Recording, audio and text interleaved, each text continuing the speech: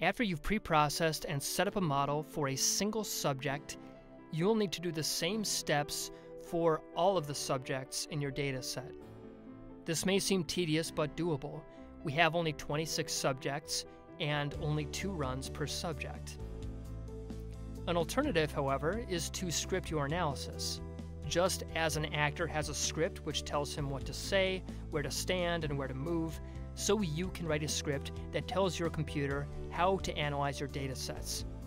This has the double benefit of automating your analyses and being able to analyze data sets of any size. The code for analyzing two subjects, or 200, is virtually identical. First, we will create a template that contains the code needed to analyze a single subject, and then we will use a for loop to automate that analysis for all of the subjects. To begin, from the SPM GUI, click on the Batch button. This opens the Batch Editor window, which we can fill with multiple preprocessing modules.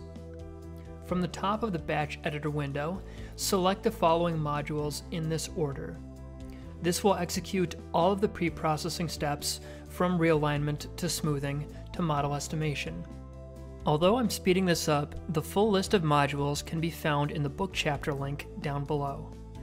You will now need to fill in each of the required fields, just like we did in the previous chapters. Remember that you'll need to use the MATLAB terminal to create a folder called First Level for the first level results. At this point, you may wonder what you're supposed to input for a later preprocessing step if the required data hasn't been created yet. We use the module named file selector to assign a label to each run of functional data. Then, we use what are called dependencies to indicate that the input for the current step is the output of the previous step. For example, in the Realign module for the first session, if you click the Dependency button, you can select the option Named File Selector, Run 1, Run 2 files, and likewise for the second session.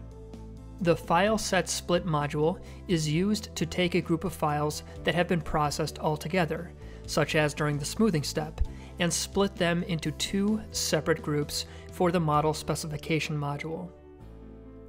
For the contrast module, we select the Replicate and Scale option. This will replicate the contrast weights across all of the sessions for that subject and scale them in inverse proportion to the number of sessions. In this example, since there are two sessions, each contrast weight will be scaled to 0.5 and negative 0.5. The rest of the fields will be filled in just as we did in the previous chapters. The only difference will be specifying the input as a dependency from a previous step. Click on the link to the book chapter below to see details about how to fill in each field. The batch module we just created is specific to Sub 01. We have used Sub 01's images and timing files, and the results will only apply to Sub 01. If you clicked on the green Go button, it would run all of the pre-processing and model estimation steps in one go. With a few adjustments, however, we can adapt this module to all of the other subjects in our study. First, we need to save the modules into a MATLAB script. Click on File, Save Batch and Script, and label the file Run Preproc Template.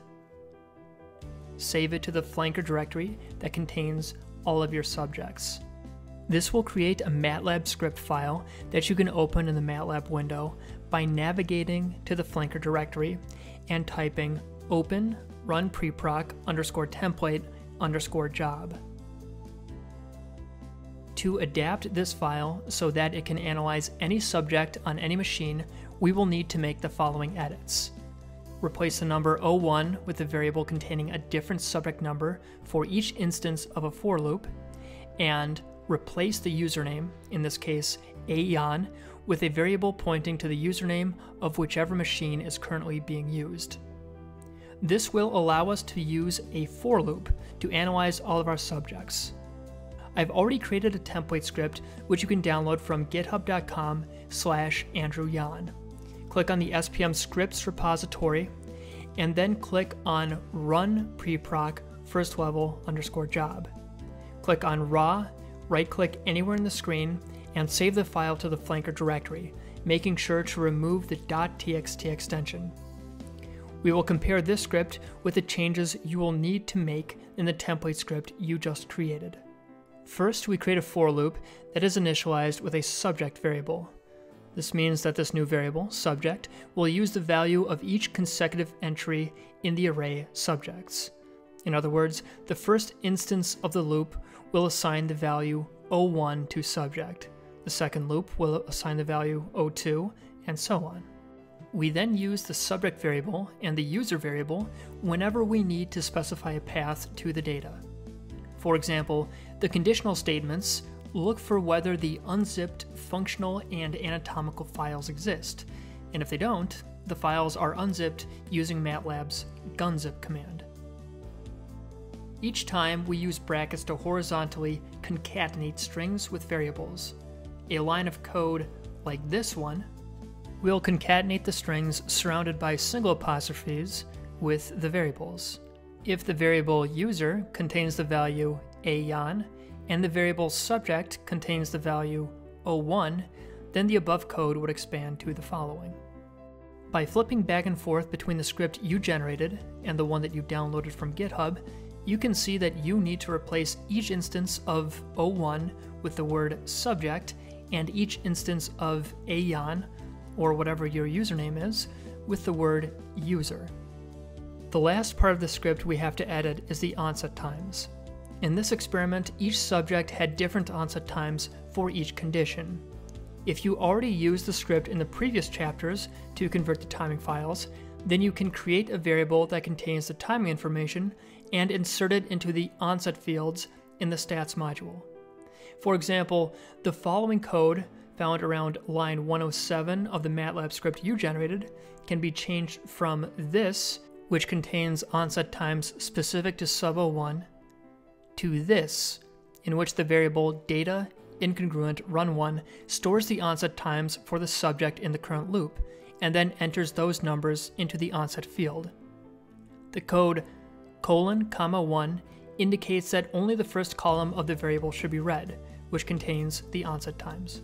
When you have finished editing your script, or if you want to just use the one from GitHub, make sure to change the subjects variable to only analyze 01 and 02 since we'll be checking whether it works on a sample of the subjects before running it on everyone. You can then execute the script by typing its name. If you're using the GitHub script, for example, you would type run preproc first level job. You will then see windows pop up as each preprocessing and statistical module is run, similar to what you would see if you executed each module manually through the GUI. In the next video, we'll check the output to make sure it ran successfully.